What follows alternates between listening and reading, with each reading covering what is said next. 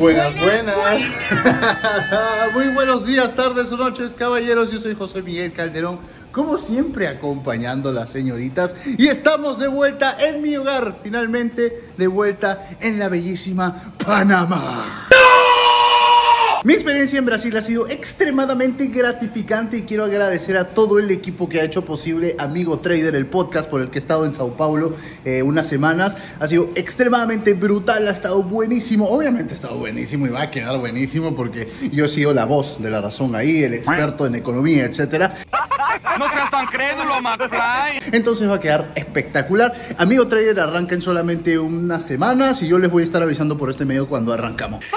Ok, polilla. Pero ya estoy de vuelta en mi hogar. Y damas y caballeros, tengo algo muy importante que decir. Primero que nada, que miren lo que me compré, un Mimi. Espectacular, es un Minion increíble. Y viene con una tacita, miren, una tacita de los Minions bailando disco. Eso me parece adorable. Marica, marica. Porque hoy tenemos un día extremadamente interesante, ¿eh? A ver, ¿qué tenemos por aquí? ¿Qué es esta verga? Smirnoff Ice. Todavía p esto me huele a p ¿Y esto qué es? A ver. Cubata, fresh, ron y sabor a mango. ¿No hay cerveza en esta casa? P madre, me voy un par de semanas y mi, mi refrigerador se vuelve el refrigerador de una niña. Pregúntale a Windy. ¿Me has extrañado, Miss Boom? ¿Cómo estás, gorda? Ven aquí, ven. Ven, saluda a mis seguidores. Grata, por ellos comes. Sí, mírenla. Miren su panza. Espectacular. Yo lo que quiero es que Palestina sea libre. Señores, estoy extremadamente sobreexcitado porque pasó algo increíble en los últimos días. Mi primo tuvo un ligero, un pequeño accidente con su auto. En una tormenta pero espectacular. Un ligero accidente con su auto que involucró, digamos, una que otra chispa, una que otra llamarada. Y básicamente se le incendió la camioneta. Espectacular. Eso pasa cuando no me haces caso. Mi primo se compró una camioneta Jaguar. Él vive en Miami. Y se compró una camioneta Jaguar eléctrica. Muy linda, muy bonita, con una performance espectacular. Y bueno, terminó hecha y yo se lo dije, los Jaguar eléctricos están teniendo la mala costumbre de entrar en combustión espontánea de la noche a la mañana. Pero tengo la camioneta. Y es algo. Y no me hizo caso, me dijo, no, que está hermosa y que tiene una performance brutal y que es mejor que un Tesla y la... p- Madre, no, señores, no. Pero qué imbécil. Primero entonces, ¿para qué hago este video? Para contarles qué debes hacer, ¿ya? ¿Qué debes tomar en cuenta si tú quieres comprarle su camioneta Jaguar y Pace a mi primo? Porque es algo muy común, de hecho. Ya saben que yo tuve un Camaro eh, cuando vivía en Lima, Perú. Este Camaro era un auto siniestrado, no era un carro que había sufrido un choque eh, y luego del choque lo subastaron, yo lo compré, lo repararon en Tacna, en Perú y llegó a mis manos extremadamente bien. Perfecto todo, hasta ahí. Pero ¿qué pasa? Hay gente que compra carros, digamos, eh, inundados, compran carros incendiados que han sido expuestos a, a productos químicos, etc. Hay diferentes factores que puedes tomar en cuenta a la hora de comprar un auto. Este, miren esa vista, papá. Hay un rey, la de la máxima autoridad del mundo motor. Hay diferentes factores que debes tomar en cuenta, ¿ya? ¿Qué puede pasar? Si yo me compro un carro inundado, muy probablemente me estoy comprando un carro con un millón de problemas en el sistema eléctrico. Si yo me compro un carro expuesto a productos químicos, no necesariamente quiere decir que es un carro radioactivo. Lo van a catalogar como auto expuesto a productos químicos en la subasta. Pero podría ser tan simple como que fue un carro que estaba llevando drogas. Lo, lo, lo, lo incautaron, lo investigaron y luego lo subastaron. O sea, no es nada. Si yo me compro un carro siniestrado por incendio, Ay, ay, ay. Hay muchas cosas que pueden salir mal y muchas cosas que se pueden camuflar, así que hay que tener muchísimo cuidado. Por eso me pareció muy interesante hacer este video y me puse a investigar un poquito mientras estaba en el avión de, de Brasil a Panamá, porque me pareció un tema muy interesante. Igual, ¿qué debería saber yo para primero identificar un carro que ha sido incendiado a la hora de comprarlo en subasta o en el mercado de segunda o donde sea? Y dos, ¿Qué debo saber si decido comprarlo? ¿Ya? Primero que nada, el carro incendiado es un carro particularmente fácil de identificar, porque no es como el inundado. El inundado es difícil si no sabes de auto, porque el inundado aparentemente es un auto usado como cualquier otro, no tiene ningún problema, lo ves y se ve bien, hasta se ve limpiecito, de re chupete. Pero a la hora de que te lo llevas, lo compras y empiezas a utilizarlo en el día a día, terminas dándote cuenta de que tienes un carro que, no sé, de pronto los sensores de los airbags todo el tiempo se prenden y se apagan. eh, la radio funciona a veces, a veces no, las luces también. Tienen un choclón de problemas en el sistema eléctrico, básicamente. ¿ya? El carro siniestrado por incendio, sí lo puedes notar. Es como un carro chocado. Cuando tú levantas el capó de un carro y ves que los paños de la carrocería están un poco descuadrados, se nota el planchado, se nota que le han metido chapistería. O sea, el carro chocado es fácil de identificar. El carro incendiado también. ¿Por qué? Primero, el olor. El carro incendiado huele. No importa cuántos años pasen, huele. Porque hay elementos, sobre todo de cableado, que no se cambian en su totalidad. Hay sellos que se quedan pegados en las paredes internas de la cámara del motor. Entonces huele. Tú levantas ese capó cuando un día caluroso, por ejemplo, hace calor. Levantas el capó y huele a plástico quemado. Eso es típico del carro incendiado.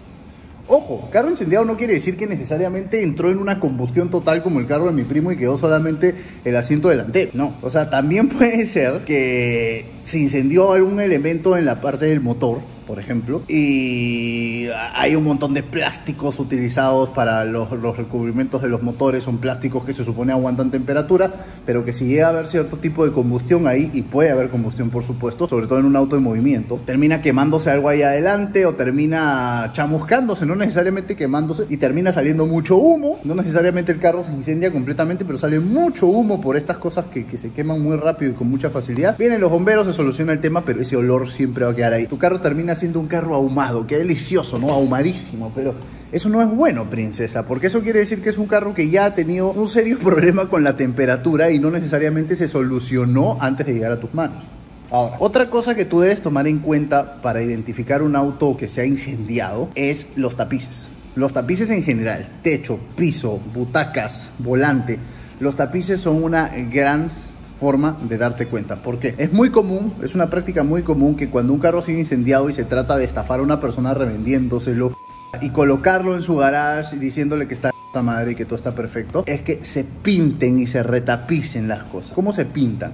El cuero es muy fácil de restaurar, hasta se pinta literalmente con un spray. Esto, ¿cómo lo identificas? Si tú agarras un billete, un papel moneda cualquiera, el billete que te dé la gana, y lo pasas por el cuero, tiene que salir limpio. Si sale marrón es porque está sucio simplemente, ¿ok? No se hace estúpido. Pero si sale negro, y esta es una prueba muy común, es porque ha habido fuego involucrado. Es porque ese tapiz ha sido repintado. Ojo, Puede ser rojo, puede ser rojo el tapiz y va a salir negro si ha sido repintado. Porque el pigmento que se utiliza para pintar el cuero siempre termina degenerando en negro. ¿Por qué? No me pregunten, no tengo ni la idea. Pero siempre termina convirtiéndose en negro. ¡Qué buen servicio! Ahora, no quiere decir necesariamente que lo han repintado porque se incendió el carro, obviamente. Simplemente podría haber estado en mal estado y no quisieron pagar una tapicería completa y solo lo pintaron el cuero. Puede ser. Pero es una luz roja, una alerta que debes tomar en cuenta. Definitivamente también están el techo. El techo de, de, tu auto es una parte muy importante para identificar si un carro se ha incendiado o no. Para esto obviamente hay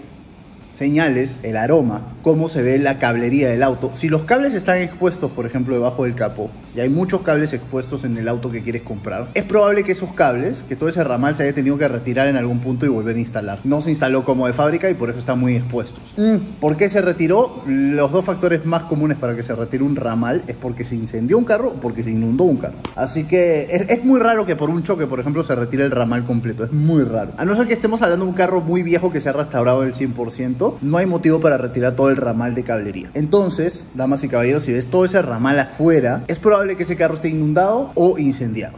¿ok? El aroma de abajo de ese capó te va a decir cuál de las dos cosas es lo, en lo que estás al frente. Entonces, el techo también. El techo tiene como una especie de pegamento entre la tela, el cuero del techo del auto y el propio techo del auto, que de hecho no es directo hacia el techo de metal, sino va a una especie de placa de cartón o algo por el estilo. Este, ese pegamento tiende a dejar un aroma, un aroma muy particular como a espuma, no sé, como a humedad, ¿ok? Ese tipo de olores también indican un carro que se ha incendiado. Entonces, damas y caballeros, no es difícil verdaderamente identificar un carro incendiado, es muy simple porque deja muchas señales a diferencia del auto inundado. Pero, ¿qué pasa si tú decides comprar uno? Porque te lo venden muy barato y aparentemente se ve muy bien. Bueno, tienes que saber que muy probablemente el sistema eléctrico va a ser lo primero en fallar tienes que saber que muy probablemente los olores extraños dentro de tu auto nunca se van a ir. Y tienes que saber que todos los plásticos, mangueras de caucho, de hule, etcétera, si no se cambiaron, y en muchos casos no se cambiaron, porque aparentemente están bien, sobre todo cuando no hubo una combustión como tal, sino solo humo, están pésimamente mal, están pésimamente resecos y todo el tiempo vas a tener que cambiar manguera de aquí, manguera allá, manguera de por acá. Entonces el carro incendiado no necesariamente es una mala compra. O sea, puede ser que sea, como te digo, un carro que, no sé, vives en un país muy caliente, como aquí, como en Panamá, hay mucha temperatura. Y es muy común que se resequen y se revienten las mangueras de adelante, de debajo del capó. Se, se revienta una manguera de combustible, pa, se reventó la manguera, la línea de combustible y por el calor, pum, se, se prendió. No necesariamente hubo mucho fuego, pero sí hubo mucho humo y todo ese humo hizo que se resequen todas las otras mangueras. Entonces por ahí se rompió una manguera refrigerante, cae en, en el motor caliente, ¡bla! salió una nube de humo súper escandalosa. Tu carro quedó ahumado y con aroma de por vida. Ese carro, mi recomendación sería que cambies todas y cada una de las mangueras y líneas involucradas en el aceite, en el combustible y en el refrigerante, ¿ok? ¿Por qué? Porque ya todas quedaron completamente resecas por la temperatura eh, de vapor a la que fueron expuestas. Ese es el caso light de un incendio, que es un incendio entre comillas. Pero hay el caso fuerte en donde el carro se incendia completamente. Tienes que checar siempre el VIN del vehículo para saber si hubo algún problema serio y tienes que checar el color original del vehículo, qué tonalidad era, chequear la tonalidad que tiene ahora. Esto te va a dar algunas señales según la cantidad de paños que tú veas que están en un color o el otro, de qué tan intenso fue ese incendio. Yo no recomiendo comprar un carro que se incendió por completo. ¿Lo puedes comprar? Sí, lo puedes comprar. ¿Y te va a salir muy barato? Por supuesto que sí. Pero recuerda que el acero que se utiliza para hacer los automóviles se forja, por decirlo de alguna manera, a cierta temperatura, con cierta presión. Una vez que un vehículo ha sido expuesto a una temperatura superior a la que debería, entonces ese acero ya perdió tensión. Eso quiere decir que ese carro, por más que se vea impecable, es peligroso. En un eventual choque va a ser una lata de sardinas y te va a aplastar y te va a hacer el chasis previamente deformado ya no va a servir para nada y va a ser un carro extremadamente peligroso. Para reventa me parece que sería más viable que para uso personal. No estoy diciendo que lo hagas porque suena como un poco estafa, pero ¿quién esté libre de pecado que lance la primera piedra? ¿No es así? Entonces, damas y caballeros, espero hayan encontrado este video informativo o al menos entretenido. En verdad tenía ganas de hacerlo, ¿eh? porque me pareció muy interesante todo esto que, que les estoy contando. Es lo que yo acabo de aprender y averiguar. Me convertí en experto en autos siniestrados, incendiados en una noche así. ¡Pah! espectacular. Esperando en el aeropuerto me hice experto. Así que me pareció bastante interesante compartir todo este nuevo conocimiento con ustedes. Así que suscríbete si te ha gustado este video. Síganme también en Instagram como el Dios de los Autos Oficial y en Facebook y TikTok como el Dios de los Autos. Yo soy José Miguel Calderón. Necesito tomar una ducha y gracias por seguirnos y por mantenerse enganchados al contenido más del Dios de los Autos. ¡Chao!